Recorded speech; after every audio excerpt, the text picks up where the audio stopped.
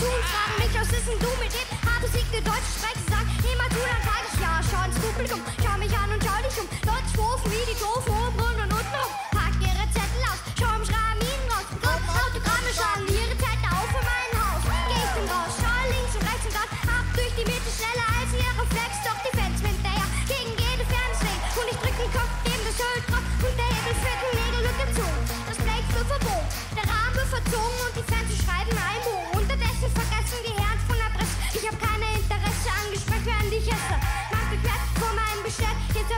Was sollen wir denn schreiben? Ich sag immer locker bleiben.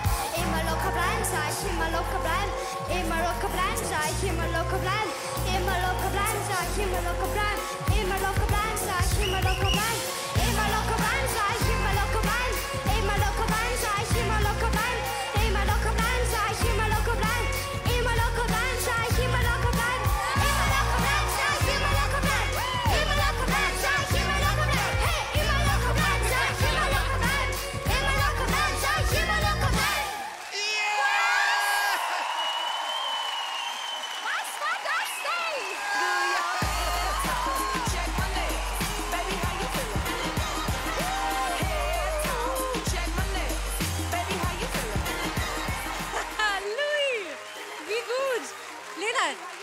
was ist da gerade passiert? Ich kann es nicht glauben. Ich weiß selber nicht, was gerade passiert ist. Okay, pass auf. Ich, ich kläre auf. Ja.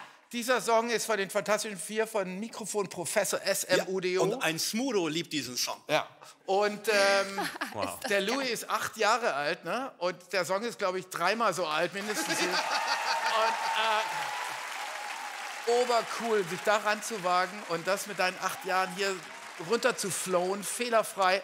Wow. Und mit einer Power, äh, Louis, echt super. Großes Kompliment. Hast du stark Riesenpuste gemacht. auch. Ja. Wahnsinn. Louis, sag mal, wie war es denn für dich, vor Michi und Smudo so einen Fanta 4-Song zu performen? Für mich war es ziemlich gut vor den eigenen Hersteller des Songs den gleichen selben Song zu singen. Louis, das ist dein Applaus. Mach mal nochmal einmal richtig Lärm für Louis.